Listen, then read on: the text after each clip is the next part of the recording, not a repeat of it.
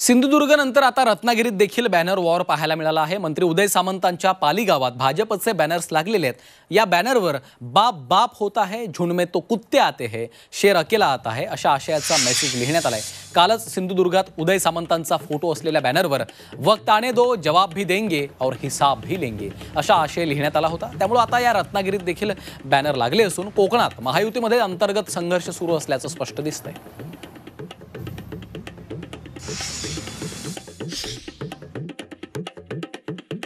घरासमोर बॅनर लावून कुणाला सुखानं झोप लागत असेल तर त्यानं अजून चार लावावेत मला फरक पडत नाही. अशी प्रतिक्रिया उदय सामंतांनी बॅनर वॉरवर दिली आहे. बॅनर तिथं माझ्या घराच्या समोर रस्त्यावर लावलेला तो माझ्यासाठी नाहीच आहे. असं जर मी समजून तो उभाटासाठी असं समजलो तर मला असं वाटतं की महायुतीमध्ये तेढ निर्माण होणार नाही.